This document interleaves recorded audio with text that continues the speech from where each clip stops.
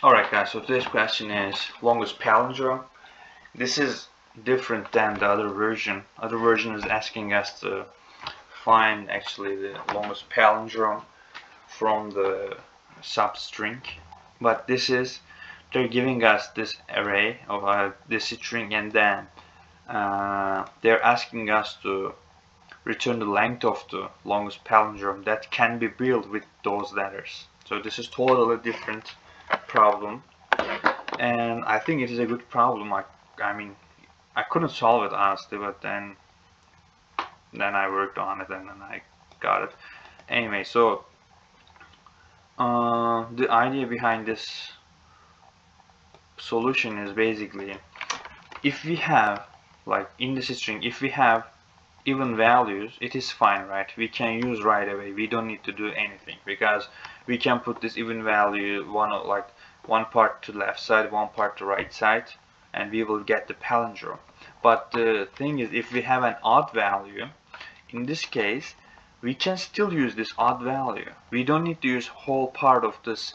Let's say we got uh, 3D right? Okay we got 3D and if you wanna like create a palindrome by using this odd value we can just take its uh, odd uh, even values which is like if we mm, subtract 1 from this uh, 3D we will be getting 2D right? So by using this 2D we can again create a palindrome. So the idea is if we have an odd value we can still use it. We can still use its even values and we can add this one to the even.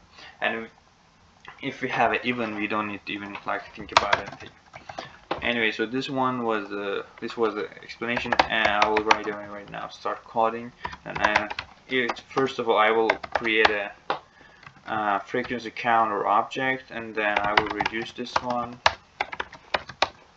and see and A C is equal to A of C plus 1 or or 1 turn A and then this will be now oh, this will be an object. Then we will have let even. Let odd values will be 0 also again. Then for let key in the in the object. And if our like I said if our object of key is equal to I mean it is even if it is even then we don't need to consider let uh, even will be equal to uh, object of key.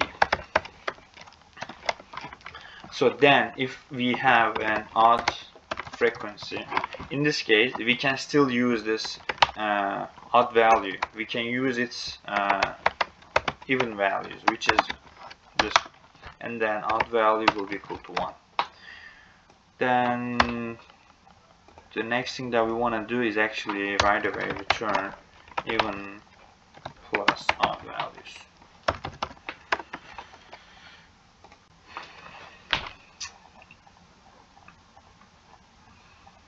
Yeah, there you go guys. This was the solution. I hope it was helpful. Thanks for watching.